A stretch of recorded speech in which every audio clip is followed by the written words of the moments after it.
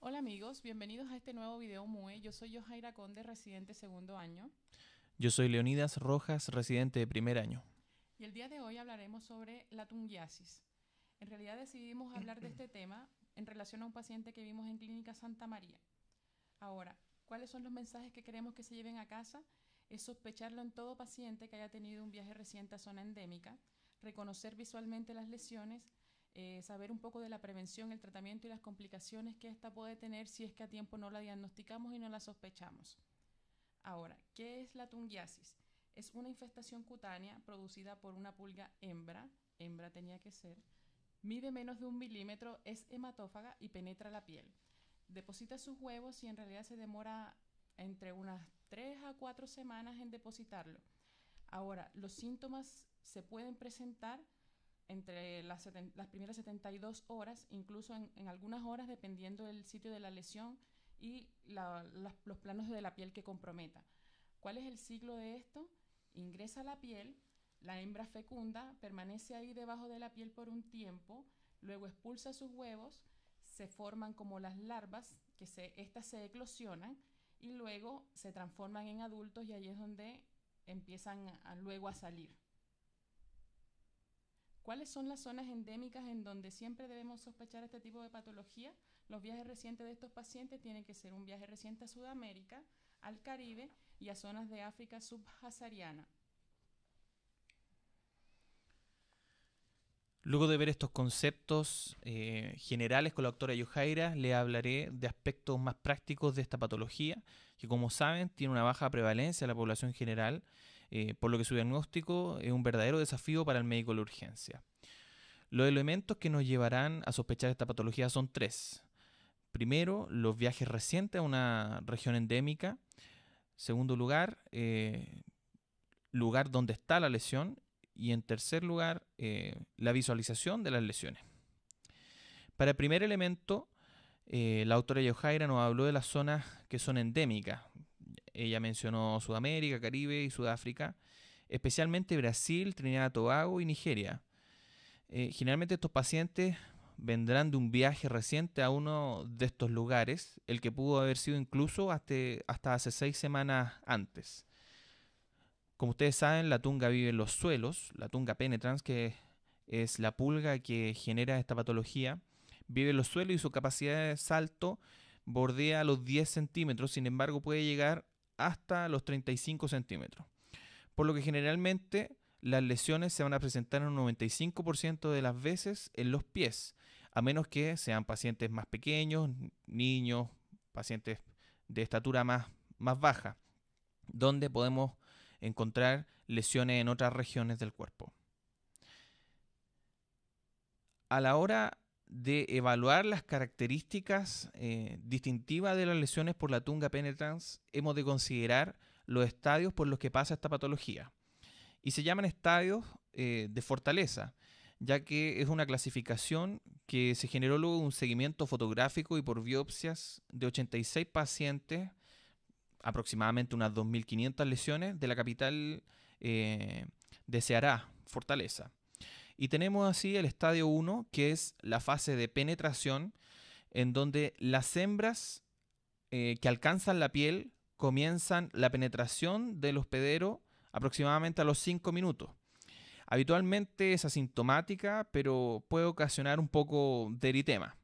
Pero generalmente el paciente está asintomático. En el segundo estadio, eh, que se llama hipertrofia abdominal, como su nombre lo dice, la hembra empieza a aumentar su diámetro abdominal generando mayor síntomas. Em, se forma un, halo eritematoso y pruriginoso eh, con un diámetro que puede llegar hasta los 30 milímetros alrededor de la lesión y un punto central pardo o negruzco constituido por la zona anogenital de la pulga. Aquí ustedes pueden ver un en la lesión eh, eritematosa que en el centro podemos ver eh, un pequeño punto central. Eh, y de a poco empieza a aumentar el diámetro, su, la pulga, para generar los síntomas que está descrito. En el estadio 3, aquí ya hablamos de un estadio que se llama halo blanco. Y aquí ya la hipertrofia abdominal de la pulga es máxima, por lo tanto, los síntomas también van a ser máximos. Y en este caso nos encontramos con un halo eh, blanquecino de consistencia firme alrededor del mismo orificio eh, central que es eh, la región anogenital de la pulga. En este punto, los pacientes van a referir una sensación de cuerpo extraño, dolor pulsátil, eritema y calor local. Eh, es en este punto también en que la pulga empieza a liberar huevos.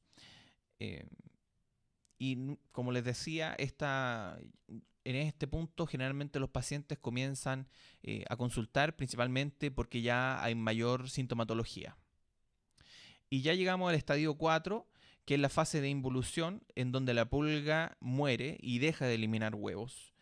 Em, empieza más o menos como en la tercera semana y finaliza en la quinta semana hasta que ya eh, se terminan por eliminar completamente los restos del, artrópodo.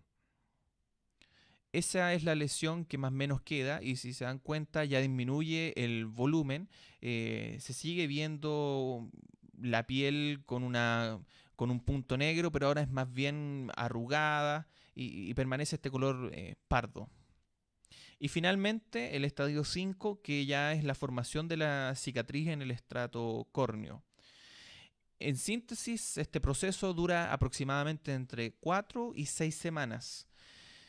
Eh, en cuanto al tiempo de, mm, de, duración de cada uno de estos estadios, tenemos que el estadio 1 dura entre 3 a 7 horas, y es principalmente, como habíamos dicho, eritema. El estadio 2 parte eh, desde el primer día o segundo día y dura aproximadamente 24 horas. El estadio 3, como su nombre dice, parte del día 3 y dura aproximadamente 3 semanas, hasta la, hasta la tercera semana desde que penetró la pulga en la piel. El estadio 4 dura de la cuarta a la quinta semana y finalmente el estadio 6 que ya hace que se complete el cuadro en aproximadamente 6 semanas.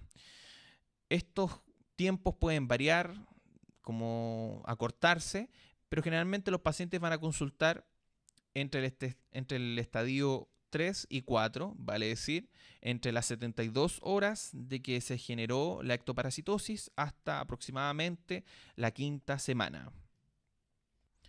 En cuanto al tratamiento, este consiste en la extirpación de la lesión mediante técnica estéril, eh, principalmente por manos expertas y por bisturí. Sin embargo, en lugares donde hay menos recursos se describe la técnica con aguja. Posteriormente se, se, asocia a este tratamiento antibioterapia tópica que puede ser mupirocina al 2% cada 12 horas por 7 días. Y en los pacientes que no estén vacunados o que no hayan recibido una dosis de vacuna antitetánica en los últimos 5 años, se describe también que debe administrarse toxoide tetánico. La principal complicación de esta patología es la sobreinfección bacteriana, principalmente por Staphylo aureus o Streptococcus pyogenes, sobre todo en pacientes que se manipulan la lesión de forma no estéril. Otras complicaciones que se describen son la úlcera, linfedema, gangrena, autoamputación de dedos y, como ya habíamos visto en el tratamiento, tétanos. Con respecto a esto, en lugares que tienen menor acceso a cirujano, menor capacidad de generar procedimientos o a veces los lugares son poco higiénicos, es que eh, se intentó demostrar que el uso de ivermectina por sí sola podría ser em, beneficiosa a la hora de buscar un tratamiento que no consistiera en realizar un procedimiento quirúrgico. Y este trabajo, publicado en el año 2004, que toma a 54 pacientes, divide a los, a los 54 pacientes en dos grupos, 27 eh, pacientes por cada grupo, entre grupos que se le administraba ivermectina 300 miligramos por kilo eh, en dos dosis, eh, separadas por 24 horas, y se le hacía un seguimiento por 8 días. estos pacientes eran comparados con placebo y se buscaba el beneficio clínico que consistía en el cambio de etapa de segunda a tercera etapa en eritema, disminución de eritema, dolor, prurito, lisis total de la pulga y signos vitales de la pulga que se evalúan como eh, expulsión de heces, de huevos y presencia o no de pulsación. Eh, en los pacientes, que en total sumaron 192 lesiones, se midió el total de lisis de pulga versus la cantidad de lesiones por grupo en los siguientes días eh, del tratamiento. Y nos encontraron diferencias significativas. También se evaluó eh, los otros outcomes que ya habíamos mencionado, como era prurito y dolor, donde tampoco se encontraron diferencias significativas, con lo que se demostró que en realidad la ivermectina por sí sola no sirve como tratamiento para este tipo de patología. Unas palabras en cuanto a la prevención.